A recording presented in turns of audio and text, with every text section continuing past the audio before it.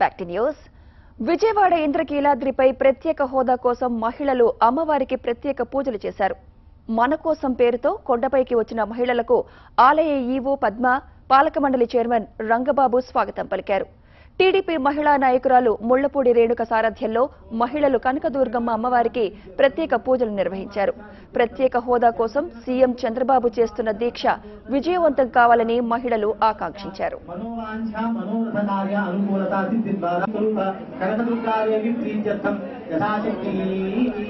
దీనిపై మరింత సమాచారాన్ని మా విజయవాడ ప్రతినిధి లక్ష్మి అందిస్తారు.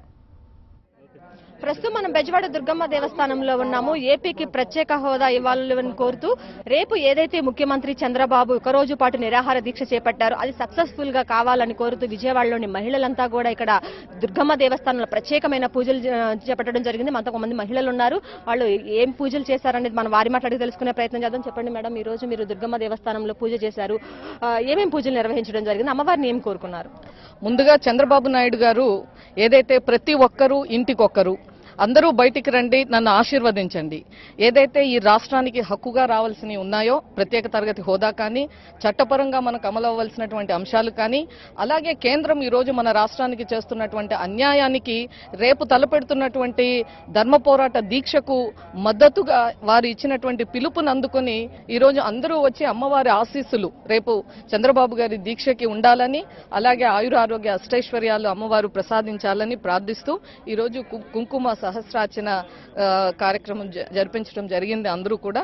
మన రాష్ట్ర అభివృద్ధి కోసం మొక్కవోని దీక్షతో పనిచేస్తున్న మన బాబు గారికి మా వంతు ఉడత సహాయం చేద్దాం ఉడత సహాయంగా మేమందరము బయటకు వచ్చాము ఆయనకి ఆయుర ఆరోగ్యాలు కలిగించి కలిగించాలని కనకదుర్గమ్మ వారిని ఆశిస్తూ కోరుకున్నాం ఆయన చేసే దీక్షలో మా వంతు పాలు పంచుకుందామని ఇంతమంది మహిళలు ఒక్క పిలుపుతో బయటకు వచ్చారండి కష్టపడి ఇన్- ఇన్- ఇంత చేస్తున్నారు మా కోసం మేము కూడా బయటకు వచ్చి ఎంతో కొంత సాయం వారికి చేయాలని మాకు మద్దతు ఇద్దామని మేమందరం ఇలా వచ్చామండి.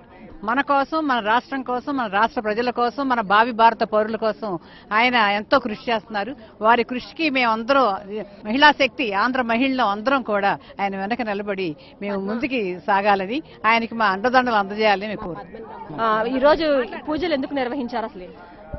ఏదైనా శుభకార్యం మంచి కార్యం నెరవేర్చాలంటే ముందు మనం దైవభక్తితో దేవుణ్ణి పూజించాలి. నా దృష్టిలో ప్రతి మహిళల్లోనూ ఒక అమ్మవారు ఉన్నారని నేను బాగా నమ్ముతాను. మగాళ్ళ కంటే ఆడవాళ్ళు చాలా బాగా చేయగలరు ఏ పనినైనా.